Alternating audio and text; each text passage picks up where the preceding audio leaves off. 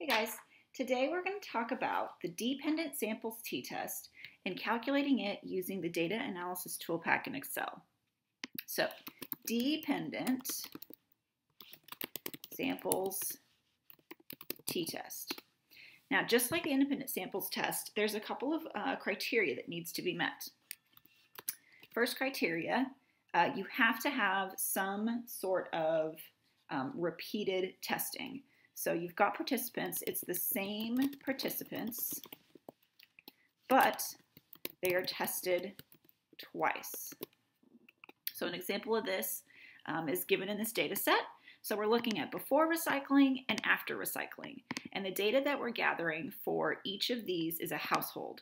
So looking at the um, tons of trash or tons of paper that is collected from each of these houses before a recycling program was offered and after a recycling program was offered.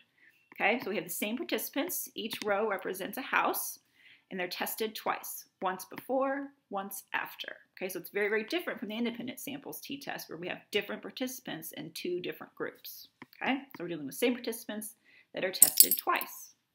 Now the good thing about um, the dependent samples test is that it's pretty much the same um, way to calculate it as our independent samples test. Okay, so we click on data, click on our data analysis tab, and here we've got um, a new selection that we have to make. We click t-test for um, paired samples two sample for means.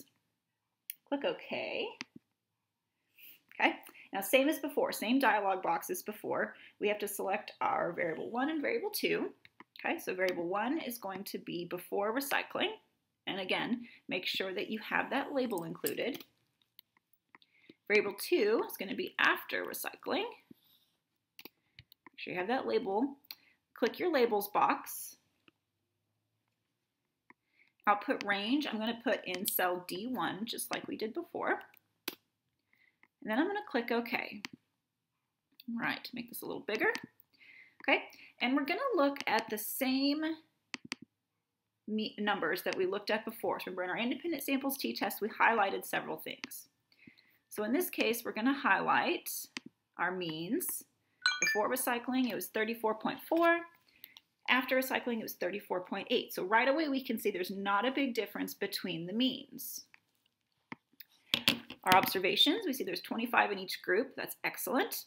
We will talk about this Pearson correlation later. So for right now, um, we'll come back to it later. So degrees of freedom, 24. We're going to highlight that. Our t-stat, highlight that. And then again, go down here to our two-tailed p. Okay. Now here we can see 0.81.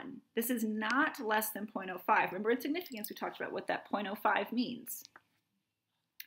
So 0.05, if greater than 0.05, results are not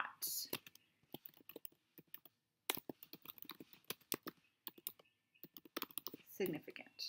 Okay? Now, in my next video, um, I'll talk about how to write this up. It's the same basic process as our independent samples test, so make sure you have your means, your degrees of freedom, your t-stat number, and your p-values highlighted.